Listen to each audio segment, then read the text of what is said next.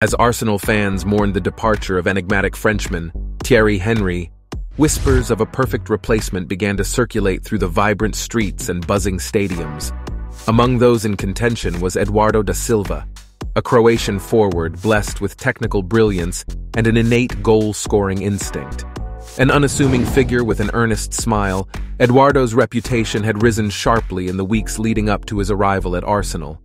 Think of Eduardo da Silva, and it is impossible not to think of the incident at St. Andrews in February 2008, when a foul by Martin Taylor left his foot hanging limp from his leg, the ankle dislocated and the shin bone broken. That injury defines his overall footballing career. He seems to feel remarkably bittered about his time in the Premier League. In 2010, he said, It wasn't my fault I broke my leg.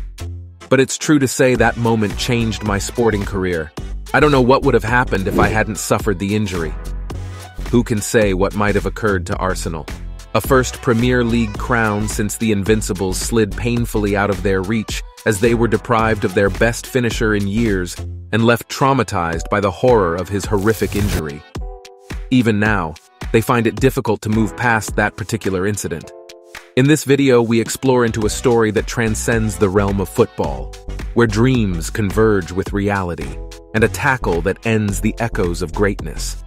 In a period, he was capable of carrying the torch of brilliance to ignite it with every touch of the ball. This is a story of tragedy, misfortune, perseverance, and how a single tackle kills an entire career and a club hope of being named champions. Stay tuned, and don't forget to subscribe to the channel for videos like this weekly. Eduardo da Silva was born on the 25th of February 1983 in Bangu Atletico Clube, Brazil. A shy kid in the Carioca district of Bangu had only one dream, to emulate his idol Romario and play for Vasco da Gama. There wasn't much to do in Vila Kennedy, the crime-ridden suburb near Rio de Janeiro that a young Eduardo called home. Football was his only escape from a life of crime, low-wage labor, or worse and while he aspired to be a professional, his coaches were less convinced. Although Eduardo was motivated, he lacked the strength and skill required for competitiveness at the highest level. He joined his neighborhood club CBF New Kennedy, determined to fulfill his dreams of a professional career, after becoming frustrated at being passed over by the bigger clubs. In 1999, he was approached by a scout from Croatian club Dinamo Zagreb. They were hardly a big name in Rio, but they offered him a trial alongside his teammate Leandro. With offers in their own country not forthcoming, the boys took their chance, arriving in a frigid foreign country with a cryptic language and no support system. I could hardly bear the cold and the snow. Not at all, he recalled later on, remembering the sight of an unfamiliar city from his hotel window. In the days before Wi-Fi and Skype, a lonely 16-year-old sought solace in constant phone calls to his mother back home. After impressing Dinamo coaches with his resilience and adaptability, he toiled away in the reserves, even concealing a hairline fracture of his foot for fear it would harm his chances of playing. Leandro had an unfavorable beneficial encounter and eventually went back to Brazil. Despite the fact that Eduardo was now completely alone, his performances made him feel better. Coaches at Dinamo still believed he wasn't ready for the elite team, after a brief spell with Clube Atletico Bangu in Brazil, he was sent on loan to bottom dwellers Inter Zaprešić in the winter of 2002. It was now sink or swim time. 10 goals and 15 games later, he was summoned back to the capital. The day after his 18th birthday, he signed his first professional contract. Eduardo was encouraged by the club's demonstration of faith and set out to become one of the Croatian league's most dangerous strikers.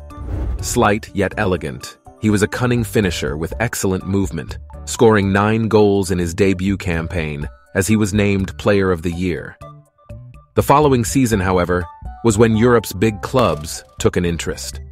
Starring alongside youngsters Vedran Ćorluka and Luka Modric, Eduardo was the focal point of a skillful Zagreb attack, joint top scoring alongside Ivan Bošnjak as Plavi wrought the title from their eternal rivals Hajduk. Any doubts that lingered would soon be quashed, as Eduardo finished the season with 47 goals, breaking Goran Vlaović's 10-year goal-scoring record in the process. He even had time to score a hat trick against the hated Hajduk in one of his final games, before news of a move to London made the headlines.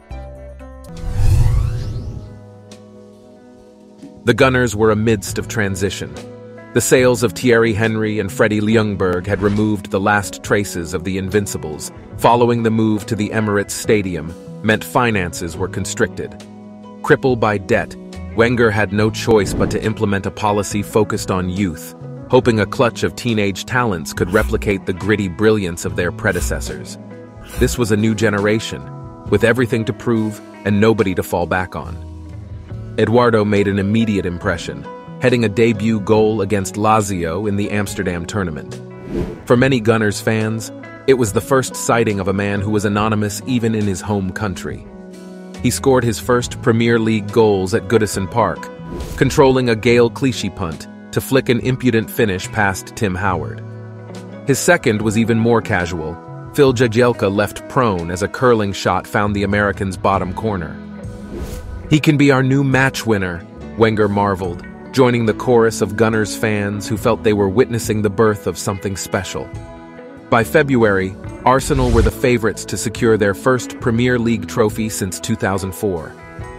Wenger's men were five points clear, having lost just once in the league all season. With 12 fixtures remaining, they headed to St Andrews on the 23rd of February to face bottom dwellers Birmingham. With three minutes gone, the Croatian received a pass from Clichy on the half-turn. As he nudged the ball towards a teammate, Birmingham defender Martin Taylor lunged for the ball. He found Eduardo's leg instead. His tibia and fibula fractured instantly, the shattered bones rupturing the tissue of his standing leg as the force of impact dislocated his ankle. At first, the extent of the injury wasn't obvious. It was only when Cesc Fabregas started urging towards the bench that a sickening realization spread throughout the ground, the Spaniard visibly shaken as the nauseating scene unfolded. Alexander Hleb turned away, putting his hand to his mouth as though he were about to be sick. Mathieu Flamini raged at the referee, whilst Emmanuel Adebayor shook his head in quiet, disbelieving horror. Seven minutes and 40 seconds after the tackle, Eduardo was lifted off on a stretcher, an oxygen mask wrapped around his face as he curled into the fetal position. Everybody knew how bad it was, even the home supporter, who broke into sympathetic applause as the covered stretcher made its way towards the ambulance and finally to the nearby Selly Oak Hospital. I think this guy should never play football again, said a visibly upset Wenger after the game. What is he doing on the football pitch? When asked if Eduardo's season was over, Wenger's reply was sullenly prophetic. More than his season is over. While for Arsenal, it was the beginning of the end for their season. Can you be better than you were before? It was a simple question, one that Eduardo must have contemplated during his 11-month absence from the first team. The reality was that nobody knew the answer. After his surgery, Eduardo relocated back to Rio, surrounded by his family and friends as he rebuilt his shattered bones and atrophied muscles under the watchful eye of Brazilian kinesiologist Odir de Souza. After 11 months on the sideline, on the 16th of February 2009, the best day of Eduardo's life saw Arsenal welcome Cardiff City to the Emirates in the FA Cup fourth round. 20 minutes into his comeback, Carlos Vela drifted in a cross from the left-hand side. Eduardo, not for the first time in a gunner's shirt, ghosted into space to direct a header into the net. Some things are just meant to be, cried commentator Clive Tildesley, as the Croatian was swallowed by a sea of delirious red shirts. His second was converted from the penalty spot, a clumsy challenge from Gavin Rae topping an emotional, unforgettable afternoon. I had tears in my eyes, he told reporters after the game. I celebrated by kissing my wedding ring because my wife, Andrea, Daughter Lorena and family supported me right through it. Even better awaited in the next round. Arsenal trampled Burnley 3-0, but it was Eduardo's 51 Saint-minute goal that summed up everything about what made him special. How dare you be that good, proclaimed ITV's bewildered commentator Peter Drury, with Wenger claiming it was the best goal he'd seen all season. For all the beauty of the goals, however, Eduardo's new reality was inescapable. He was now a squad player, given runouts in domestic cup competitions and meaningless Champions League encounters. Eduardo would score just three more goals the following campaign, with the summer arrival of Bordeaux striker Marouane Chamakh pushing him finally towards the exit. On the 21st of July 2010, Eduardo signed for Shakhtar Donetsk on a four-year contract for an undisclosed fee, with Eduardo lured to the Donbass arena by the promises of his national teammate Dario Srna. With the 2010 World Cup looming, all parties felt that a transfer could reinvigorate his flailing career. He made his Ukrainian Premier League debut on the 7th of August 2010, playing the first half and netting the second goal in a 5-0 win against PFC Sevastopol. Shakhtar and Arsenal were both drawn into Group H in the Champions League, despite praying not to be drawn alongside his former teammates. Returning to the Emirates Stadium on the 19th of October 2010 for Shakhtar's UEFA Champions League group match with Arsenal, Eduardo came on as a substitute with his new side 3-0 down and received a standing ovation from the Arsenal supporters.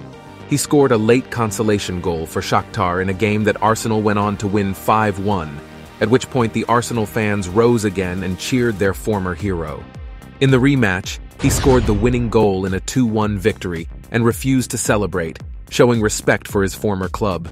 They weren't just congratulating him on his recovery, they were welcoming him back to a home he should never have left. Eduardo tried to concentrate on his own footballing redemption.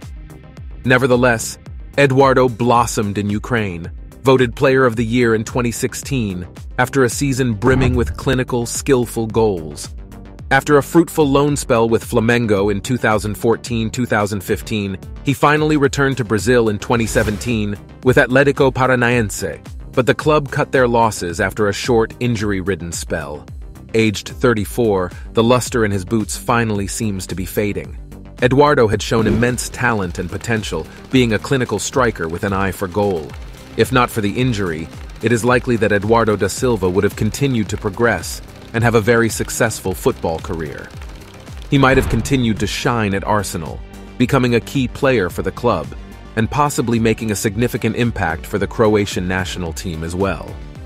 He could have attracted attention from other top European clubs, and he might have experienced success in various domestic and international competitions. His goal-scoring prowess and footballing abilities could have earned him accolades and individual awards, establishing himself as one of the prominent strikers of his time. However, it's important to remember that football careers are unpredictable, and many factors can influence a player's trajectory. While the injury was undoubtedly a significant setback for Eduardo, after Worth, he was not able to replicate the same level of form he had before the unfortunate incident. Eduardo da Silva will forever be remembered as a striker that was unable to attain his full potential due to a single tackle. Thank you for watching. We release video like this weekly. Don't forget to subscribe to the channel.